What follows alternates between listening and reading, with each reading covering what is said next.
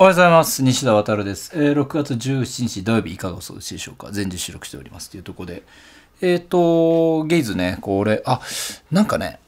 昨日だったかな、一昨日だったかな、結構何日か前に、えっ、と、今、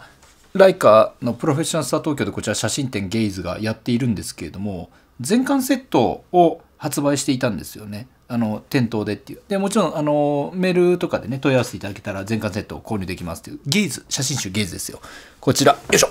重い。これ1から8までの全巻セットっていうことでえっ、と出していたんですがもう瞬く間にって感じで売り切れたようですいません。以上以上でございますっていう感じなんですけど。ゲイズボリューム8もねえっ、と多分店頭そろそろ売り切れ説ありでございますのでえー気になってる方、こちらゲイズ、ボリューム8気になってる方、ぜひともお買い求めいただけたらと思ってる次第でございます。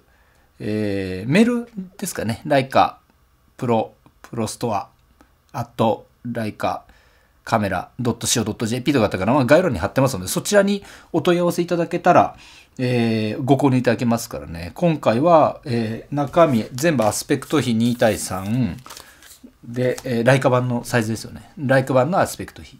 で、すべてライカで取り下ろしている、えー作品。まあもちろんね、ライカ5ですからね。なのでちょっとこう、他のと衣装を凝らしてここに赤いラインを入れたりもしているっていうことで、並んだ時、全巻並んだ時に明らかにそこがライカ5だよねっていうところがわかるようなシステムにしております。何卒、えー中にもね、あの、自信作で揃っておりますし、できればね、作品もご覧いただきたいですし、こういった、写真集と合わせてね、体感いただけると。そして作品も、えー世界に一点物として発売しております。で、さらに今僕自身も以前のこちらのサインスの作品もね、一点物としても、えー販売いたしております。それは僕の EC の方で販売しておりますので、額と学学装と一緒にセットでお買い求めいただけたらと思ってます。世界に一点のみって感じですかね。今日なんですけれども、あのーもうやっぱもう一台カメラ欲しいよねっていう話。で、何が欲しいかっていうと、カラーの M11、もう一台やっぱ、やっぱ必要かなっていうふうに思い始めてます。今 M11 モノクローム、えっ、と、ちょっと、あの、修理といいますか、調整入れてるんですよ。で、入れてて、ただ、まあ、じゃあモノクロの写真が必要だってなったら、まあもちろんね、あの M11 で撮って、で、それをモノクロ化するっていうのも全然問題はないんですけども、もうさすがに M11 モノクロームとか M10 モノクロームで慣れてしまうと、最初からモノクロームの世界で撮影することの、まあ、意味とかね、意義の部分ですよね。マインドセットの部分。ここが重要になるので、モノクロで行くぞって言った時はモノクロ機で行きたいんですよ。で、今おかげさまで M10 モノクロームもこうありますから、もちろんバッテリーのね、規格とかが違ったりするから、そういった意味ではもう M11 系で全部統一させると楽は楽なんですけれども、まあ、とにかく今みたいに調整とか修理入れてても、あのこちら M10 モノクロームがあれば、これでモノクロの写真を撮ることができると。なんだね、問題なく。で、今はどっちかというと、M11 入れちゃってるので、こっちのね、この、えっ、と、スーパーエルマーの 21mm、スーパーエルマーだよね。これを使いたくてですね、スーパーエルマー M21mm を使いたくて、まあ、やってるので、まあ、こういった形で、ここの、えっとフォクトレンダーのビューファインダーつけたりしながら、ここに覗いたりして撮っているんですけれども、これは今 M11 で OK と。ですが、やっぱり 僕ちょっと徐々になんですけども、全部の業務をもう M 型ライカでいこうかなみたいな感じになっていて、で、そのうちどうしてもね、あのーなんて言うんだろうな、まあ業務用途で使うっていう風になったら、まあそのうち SL3 あたりが出たら SL3 だけ1台入れておいて、EVF で合わさなきゃいけないときは、SL3 を M 型ライカレンズ用の、まあ、ビューファインダー代わりに SL3 で行くみたいな、そういった運用もありかなっていう。で、キャノンのカメラはやっぱり望遠域とかね、動き物とかを安定して撮るときとか、記録、あの、子供たちの、まあ、なんだろう、何かこう記録とかね、発表会とかが、まあ、コロナも終わりましたから、それで、あの、増えてくると思いますので、そういったときは、まあ、M 型よりかは、あの、キャノンの方が安定してるかなっていうね、それでいいかなと思ってまして、で、ほとんどのものごものはもう M 型のレンズを通して撮っていくっていう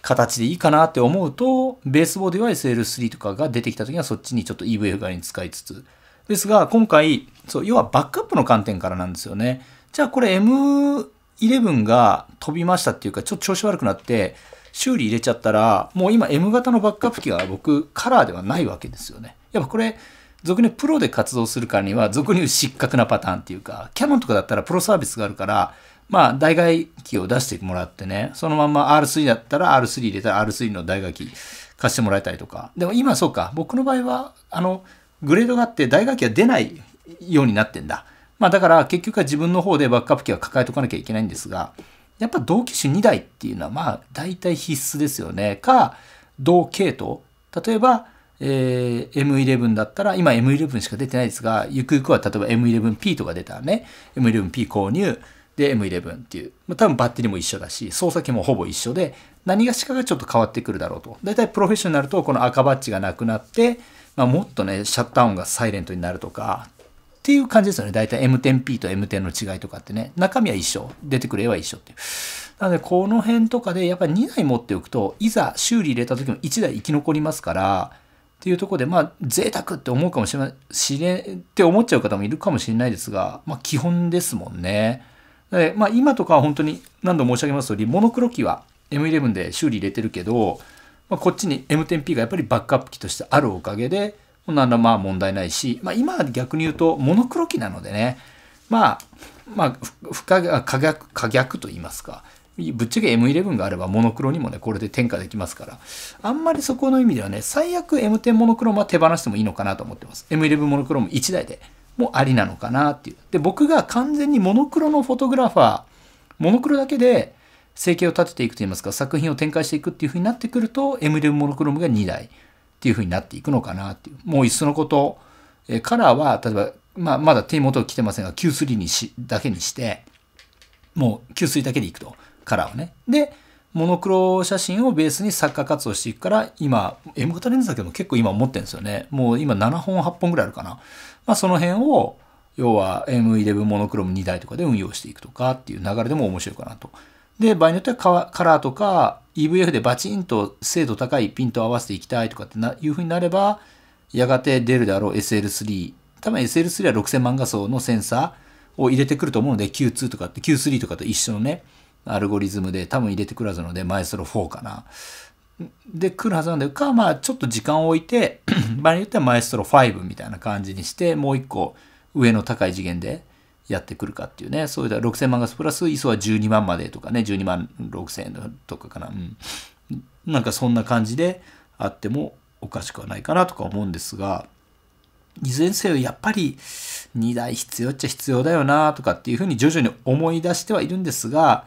比較的ね、まあ、自分自身もかなり大量にカメラは実際持ってるわけですよ。だからそこまでちょっと迷いどころっていうか、まあ、要は一発1台ドンと入れると、まあ、要は130万ぐらいいくんで、だったらまあレンズついついいっちゃおうかなとかっていうね、あの、限られたやっぱり予算、リソースの中をどこに割くかっていうのは思う部分があるんですけれども、とはいえこれ M11 のエコシステムに入ってくると、要はここのエコシステムに入ってくるわけですよね。このこのポップアップのエコシステムに入ってくるので、じゃあバックアップ機で M10R 入れとくかっていうところもちょっとまた複雑なところなわけですよ。わかります？要は M10 系のシステムはここになっていて、この、この所作でバッテリーも違うわけですよね。そうなると、まあ例えば M11 と M10R を持っておくと、結局、じゃあ2台で、あの、まあ取材、取材といいますか、撮影旅に出ますとか、撮影の、まあ作品撮りに出るってなった時には、チャージャーも2個必要でしょ。で、今はもう本当たまんなくいいなと思うのは、M11 と M11 モノクロームは、このバッテリーがもちろんですが、共用ですし、共用ですし、最悪ここ、USB-C からの充電が可能なので、もうチャージャーすらも持っていかないんですよね、僕最近。M11 で行くときは。もうそのまま直付けでチャージングすればいいやっていう。で、予備バッテリーは一応持っていくけど、ほとんど日常使いでは1本あれば十分になっちゃってるので、僕のスタイルではね。なので、この辺があると、まあいろいろ考えますよね。M11 を一応2台って思いつつも、逆に M11 がカラーが調子悪くなったって言ったらそっち入れたら、今度は M11 モノクロームがどっちみちあるし、それをバックアップ機っていう風に捉えても、まあいいはいいですよね。もうその時は逆にとモノクロしか撮らない、撮れないっていう。その環境でまた自分が新たな作品とか作風を開拓していくみたいな、それはある意味、まあ、そのタイミングっていうか、もう天から与えられた、そういうモノクロを撮る時期なんだ、タイミングなんだっていうふうに割り切ることも可能ですしね。そういう環境にいい意味で流されちゃうっていうのも面白いでしょうしなんかこの辺が非常に、うん、こう行ったり来たりしてます。本当に130万次入れるんだったらそうだよねレンズもありだよねっていう。まあまだまだ控えてるんですよ。僕もスチールリムだったり 35mm あの予約は入れててまだ手元に来てない。あとはズミルクスの 50mm の2型ね。あの45センチまで寄れるタイプとか。まあその2本入れちゃうとまた100万超えますからまあそう考えた時にはねあのちょうど M11 1, 1台分ぐらいになりますからね。まあそっちにやっぱりリソースを割きたいなっていうのもあったり。あ、あとあれだ。Q3 も来たらね、またそれで90万ですから。まあなかなか。まあ Q3 が来るんだったらそこでもサブ機として、バックアップ機としてカバーできますよね。よく考えたらね。まあこれでいいのか。なので、ズミルクスの M 型レンズを買うっていう気持ちで僕は Q3 入れる予定なので、いつも言ってるんですけど、M 型のズミルクス 28mm 入れると103万か105万ぐらいですから。なので、それ考えると Q3 は実質無料ってやつですよね。M 型のズミルクス行くのであれば。もちろん、その思想が違いますから、別物でありますが、オートフォーカスもムービーの機能もズミルクス 28mm もついて、90万円は実質無料なんつって、そういった考え方もジャーマンライカとしてはね、あるのかなと思ってますので、そこが非常に楽しみかなと思います。そうっすね。ごめんなさい。だから M11 もう1台かなって思いつつも、まずは Q3 を入れてみて、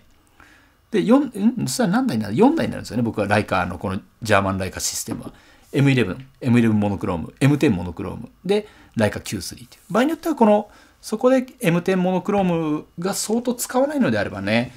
まあ、どなたかにお譲りしてもいいのかなっていうふうにも考え始めてはいますけれども、モノクロ機2台は、まあ僕も確かにトゥーマッチかなっていう。ただ来年、えっ、ー、と、モノクロームでの個展をまたやろうと思ってるんですよね。今年のクラブ関西が終われば、次はモノクロームかなと思っていてて、えー、さっき言ったこれ、サインスのボリューム2みたいなのをちょっとやりたくて、なのでそれにも含めて徐々にモノクロの活動もまた増やしていってるんですけれども、まあこういった形になるので、ちょっと